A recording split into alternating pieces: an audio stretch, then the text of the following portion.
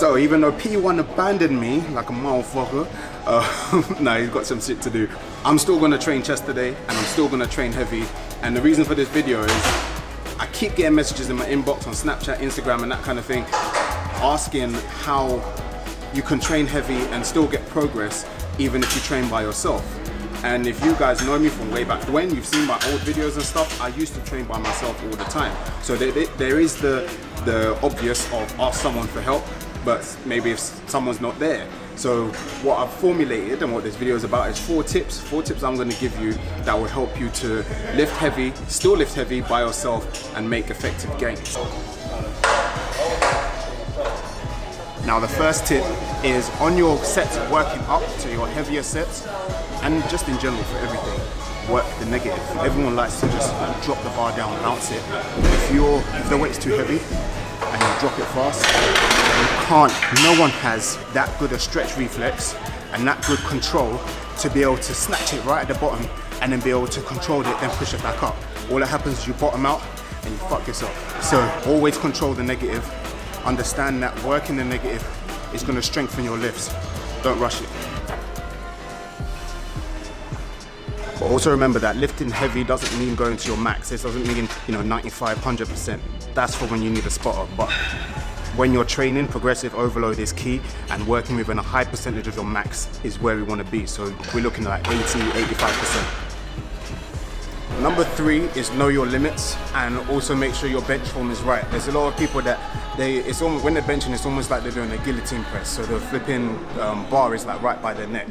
Don't want to be doing that. So if you haven't already seen it, go and check out my video on how to bench press safely. I'll also put a couple other videos in the description box of just me benching in general, talking about bench press form and make sure that your form is tight, your form is locked because yeah, otherwise you'll just decapitate yourself. And number four, we've all been there before you know, you try to know your limits, but you go for that extra rep and it gets stuck. And you don't know where to go, and you've yeah you've seen the fail videos where they just they they do the complete wrong thing and they move it closer to their neck. Makes no damn sense. So I'm gonna show you now with 130 kilos on the bar. I was gonna do 140, but I'm not feeling 100% today. So um, yeah, I'm gonna show you how to fail safely on a bench press. What you should do versus what you shouldn't do.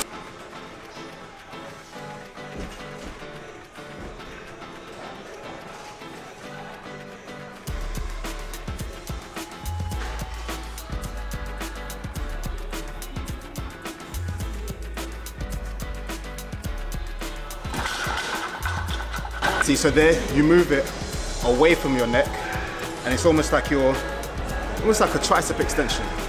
It's a bit weird to explain, but you're moving it away from yourself to your hips. See, that way you can sit up. So then even if you can't stand up with the weight and someone's around, they can come and help you. But sitting there waiting for someone to come in the hope that someone comes is a surefire way to just get stuck and then you start thinking recklessly. And all of this goes back to the other points of if I make sure that I'm working within my max, so I'm not going for 100%, but I'm also working at an RPE of seven and seven or eight, so I've still got a couple reps left in the tank. And I'm not bombing the weight down, so I'm not like rapidly bringing it down, it bouncing off my chest and stuff, and I'm controlling that negative and working the negative. It makes that a lot easier because then you can think with sense. Because what, what happens is you go into a panic mode and you just think recklessly. And when you think reckless, you think, I need to survive this. You're not thinking there is a logical way out of this. So putting yourself in a control position when you do come to failure keeps you in a control position.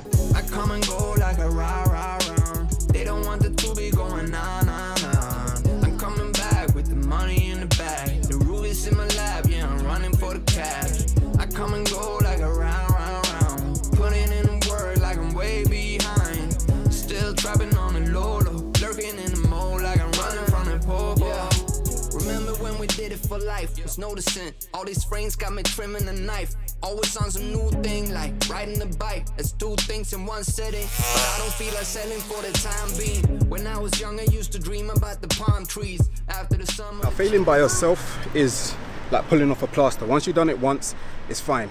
And there was something that um, I kind of already learned, but then Evro, the angry Russ, put it into words. He said, if you die, you die. And Obviously, you don't literally want to die, but that's the mentality you need to kind of go into it as because otherwise you'll just hold yourself back all the time. And then you find when you do rip off that psychological band-aid, trust me, it unlocks powers. I'm talking like Super Saiyan powers. Because then you're not doubting yourself. When you doubt yourself, you cripple yourself.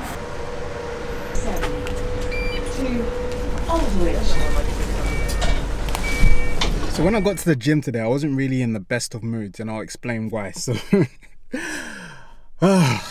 I was I had to force myself. I had to force myself to get myself in the right mood to make this video today because I, I, knew that like it, it, was flowing but I didn't want my bad mood to come across in the video kind of thing so I was fighting demons but this morning as you saw just picked up my car from the MOT garage but this morning, bless Elijah. Like I'll, I'll never be angry with him for being a kid because that's what kid, this is what kids do.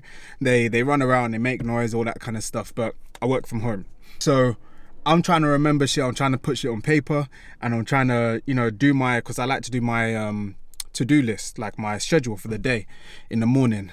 But he had woken up earlier. He's screaming and all this kind of stuff. I'm just like, oh man, I can't even think. Then I take my pre-workout. I'm like, cool.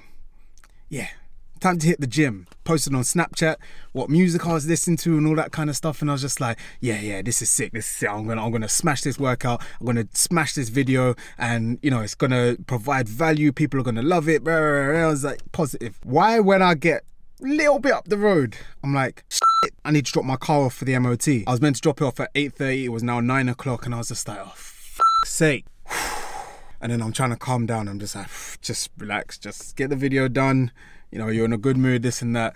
So yeah it was had to battle some demons but it happens sometimes. It happens sometimes. Like you're never gonna have a perfect day. There'll always be something even if it's little. But yeah i'll never i'll never blame elijah. He's he's just he's being a kid. But oh speaking of kids and elijah and stuff i wanted to involve elijah in the videos a little bit more because his character is, is just insane. But i wanted to think of something that people could take away if you get what I'm saying. So came up with a series called Dad Life. I'll just play the little trailer that I made for it. What's going on guys and girls? I'd like to introduce you to a 12 part series called Dad Life.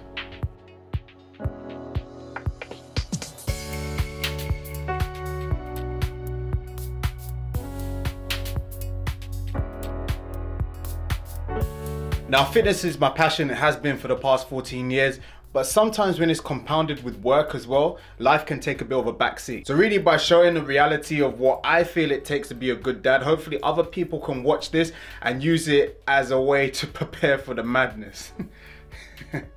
no, I'm, I'm, I'm just playing, it's great. That was a joke by the way. So really over the next three months, I, I really wanna feel more connected to Elijah and kind of build that foundation of he can come and tell me anything you know, I can be firm, I can be strict, I can be well, not too strict. You don't want them to, you don't want to suppress them. And, so I want to be strict, but I also want him to to be able to come to me and tell me everything, that kind of thing. And I think at this age is probably the best time to start instilling that kind of information. So ultimately, apart from wanting to instill that foundation between and have a deeper connection between me and Elijah, and also have that better work-life balance, I want this to be almost like a guide. Although it's my experience, it could, there might be some things that might help you along the way. If you're a first time dad, if you have a little one at home already, or if you're just interested in, you know, planning for the future. But whatever it is, I want you to be able to take something away from it. So I hope you guys can follow me on this journey and also keep me accountable. It's up to you now. Well, no, it's really up to me, but it's still up to you. Have to you have to keep me in check. Yeah, yeah. All right, cool. Catch you on the next one. Peace.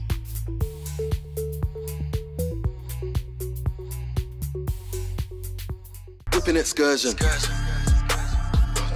I gotta pick up that person. In the trap, dripping that working. You know a gangster, you're just an internet version.